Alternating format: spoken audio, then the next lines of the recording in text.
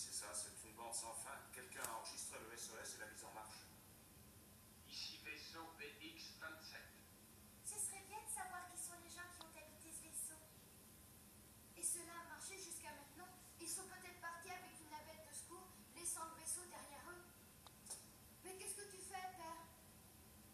Je vérifie, on ne sait jamais.